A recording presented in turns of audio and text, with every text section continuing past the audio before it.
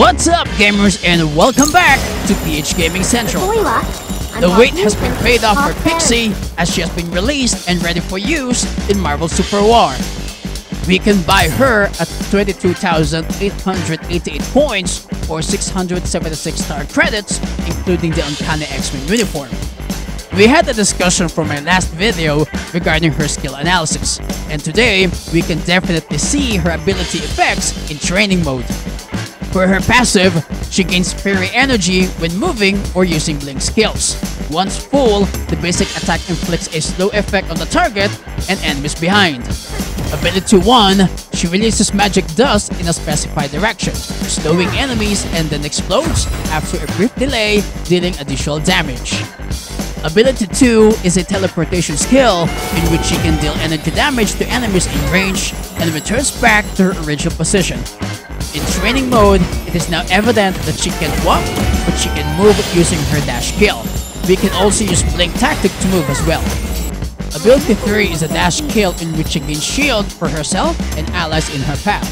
Before, the Trillo did not show the shield for her allies, but now we can definitely see the effect to her allies. The skill can also go through the walls. Her ultimate is a knockback skill and it's best to use when enemies are in close to one another. For the item build, I think the most important for her is the Regeneration Cradle as it increases her shielding effects by 20%. It depends on the team dynamics whether you want to build a support item or energy item. Now for the items, I managed to set up based on what role the hero is supposed to be. I have the damage build in which I included the following. Regeneration Cradle for increased shield effect, Martyr Boots for energy penetration, Antimatter Cannon for lifesteal, Virus Cannon for additional basic attack damage, Eye of Agamotto for the active skill as a scapegoat, and Wand of Watoomb for increased percentage damage. Next is the support item.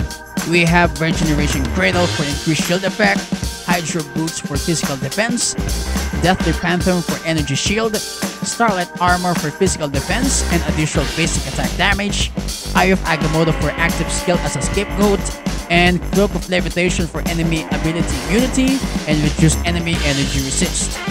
Last is the Harass, which is a default build for additional EP and durability.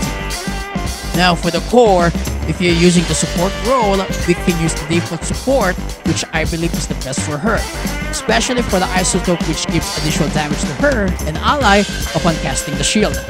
Suppression particle for additional damage and lowers armor and energy resist by 10%. Spell cast boost for additional energy attack, and restoration module for restoring 10% HP and EP upon enemy KO or assist. If you want to use the energy type, we can use the default energy. The main isotope creates a vortex of energy damage upon casting the ability. Strike particle for 4% additional damage when your HP is below 70%.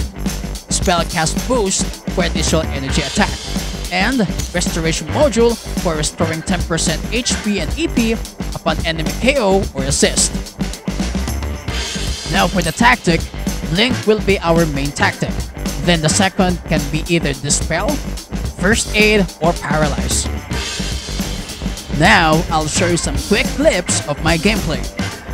I respect others' opinion that she's more of an energy type than support. That's why I tried to use energy build on this game.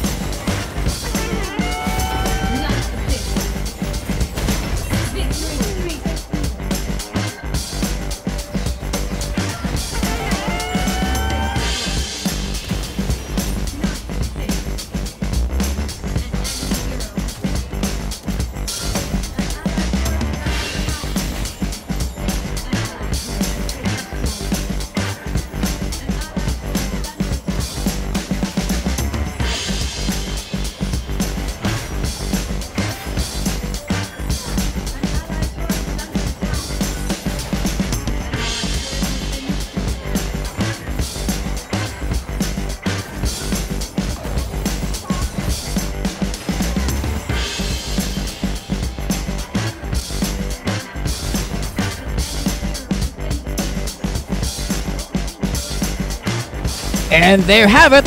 Thank you so much for watching. Please let me know if you have better setups so that we can share it to the community and have a competitive yet enjoyable gameplay. Kindly subscribe and hit the notification bell for more upcoming videos. Until next time, ciao!